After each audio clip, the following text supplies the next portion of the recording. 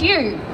I'm here for the misinformation over the last week about the angry Victorian Party. Everybody knows here that I wanted to set up my independence party, but I was got at.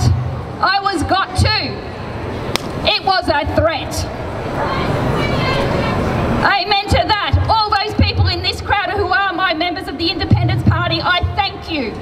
I thank you. I joined the Party for one reason. To make Daniel Andrews turn into red mist. In the army we would call it pink mist, but I want him into red mist. I want give, an, give anyone here in the army a job to blow someone up, and they will.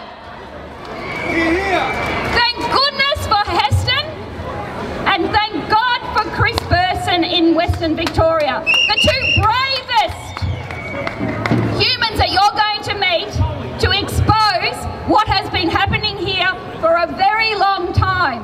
Yes! I have never, ever benefited from Glenn Druery's system.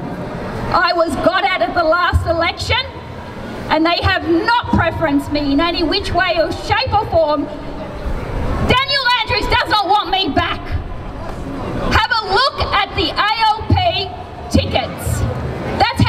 Reverse vote. Have a look at who the ALP want in there so they can manipulate and work with. Look at their tickets and do reverse. They have lied to the unions. They continue their lies in their ads. Telling the union movement if they don't vote for Dirty Dan, they will not have a job. What a bunch of BS!